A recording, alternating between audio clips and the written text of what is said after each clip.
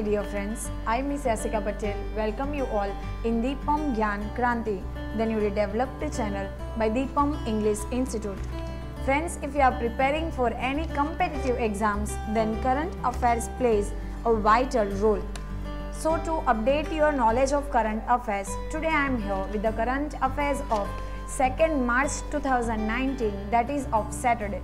So, without wasting time, let us start and check the first question and here it is on your screen.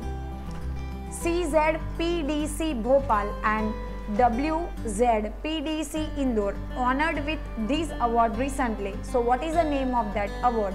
And the answer is Saubhagya Award. The Central Zone Power Distribution Company that is CZPDC and Bhopal and West Zone Power Distribution Company that is WZPDC Indore was conferred with the Saubhagya Award under Pradhan Mantri Sahaj Bijli Har Ghar Yojana at the National Conference of Energy Ministers by the Union Minister of the State for Energy R.K. Singh.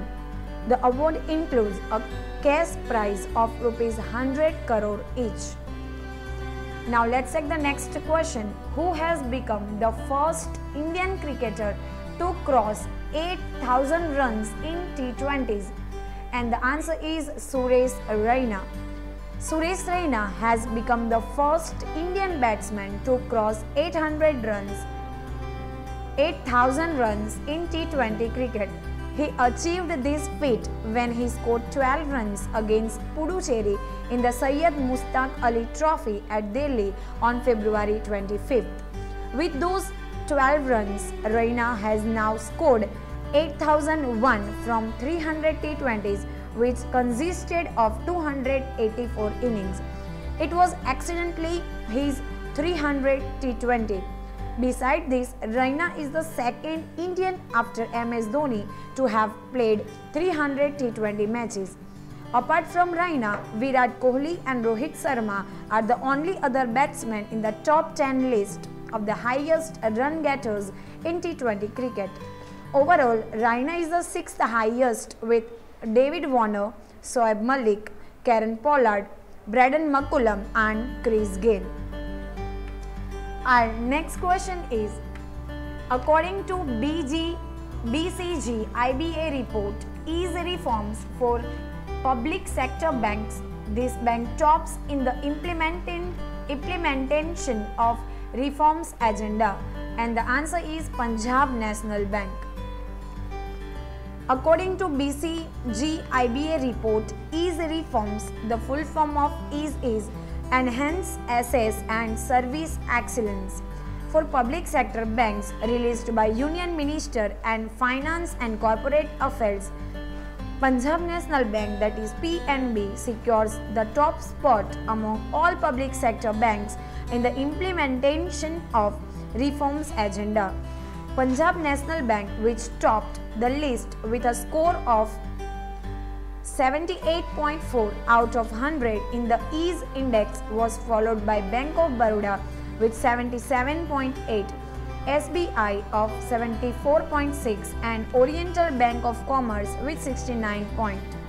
The ease that is enhanced assets and service excellence report has shown significant enhancement in PSB performance on the back of government's 4 R's strategy. Now this 4 R stands for recognition, recovery, recapitalization and reforms. The index has measured banks on 140 objective metrics across 6 themes including customer repo- repositiveness, credit of tech and digitalization. Our next question is Who became the first woman to co pilot the indigenously made combat fighter jet that is Tejas in the Aero India 2019? And the answer is PV Sindhu. Indian badminton player and Olympic silver medalist PV Sindhu co piloted the indigenously made combat fighter jet Tejas at the Aero India 2019 as part of the Women's Day observed at the air show, becoming the first over woman to co-pilot Tejas. The Women's Day showcased women's achievements in the aerospace sector and an all-woman crew flew Dornier and Avro aircraft and participated in panel discussions. Three women Indian Air Force fighter pilots also flew the Hawk 1 advanced jet trainer of BAE system that is of England and an upgraded version of the Russian-made MiG-21. Our next question is Name the cricketer who has officially received the knighthood at Buckingham Palace recently? And the answer is Alastair Cook. The former England opener Alastair Cook has officially received the knighthood for his services to the cricket by the Queen in an official ceremony at the Buckingham Palace. He is the first English cricketer to get the honour since Sir Ian Botham in 2007. Overall, Cook is the 11th Englishman to be knighted for services to cricket. Cook, who made his Test debut in 2006 against India, captained England for a record 59 Test matches and led the country to 24 wins in the longest format of the game. He retired from the Test cricket following the five match series against India in September 2018. Our next question is Minister of State for Health and Family Welfare Anupriya Patel inaugurated the International Digital Health Symposium in which city? And the answer is New Delhi.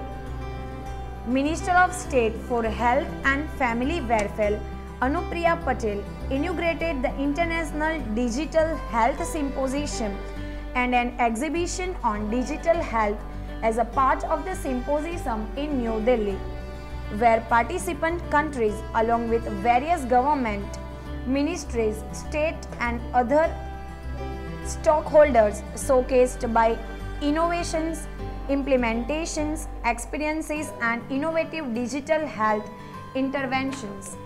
Our next question is which with which country India signed a pact for exchange information on tax and banking matters? Let's check the answer and it is Brunei. India and Brunei signed a pact for the exchange of information and assistance in collection with respect to taxes in order to curb tax evasion and tax avoidance in New Delhi. This agreement will facilitate both the countries to exchange information including banking and ownership information for tax purposes and will also avail mutual assistance in collection of tax revenue claims. Our next question is IRCTC launched its own digital payment gateway which provide payment option like credit card, debit card, unified payment interface and international card. It was named as what? And the answer is IRCTC iPay. IRCTC launched its own digital payment aggregator called IRCTC iPay. With iPay, passengers will not need any third-party platforms as it will provide payments options like credit card, debit card, unified payment interface and international card. This will help reduce the gap between IRCTC and banks which will eventually lead to a substantial reduction in the payment failures. The back-end support will be provided by Delhi-based MMAD Communications which is IRCTC's technology partner. Friends, if you like this video then please like it, share it with your friends and don't forget to subscribe our channel. Till then, goodbye, have a nice day and a great Sunday ahead. Take care.